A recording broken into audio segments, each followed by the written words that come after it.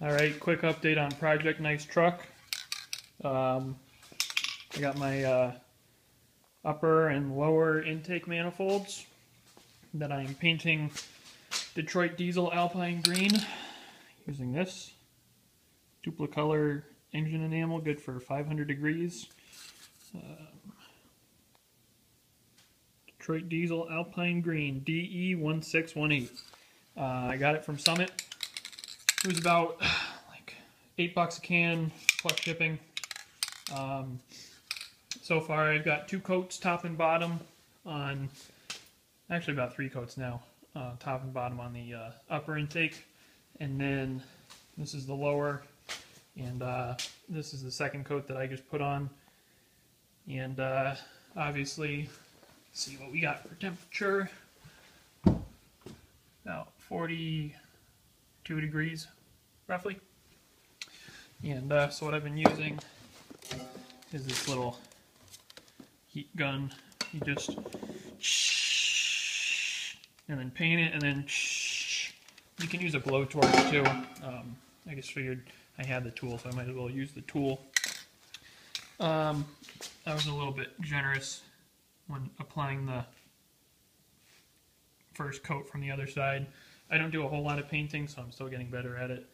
Um, but that's not even the upper intake that's going to be on there for a while because I got plans to go to 3 inch pipe afterwards because you can see how restrictive that gets.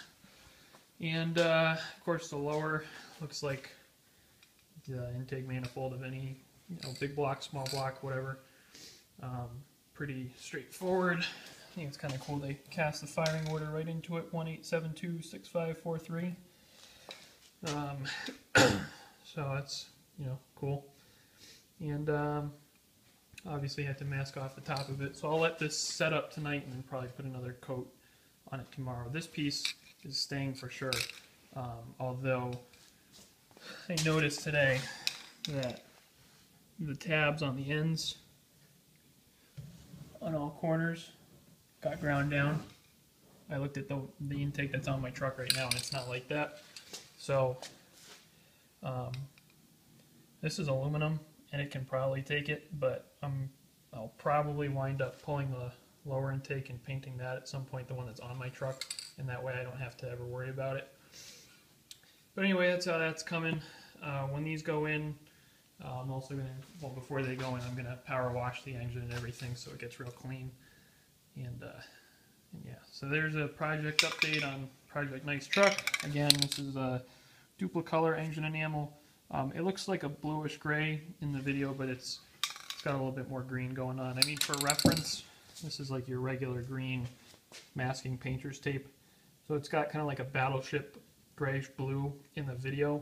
In person, it's got a little bit more green going on. So anyway, there you go.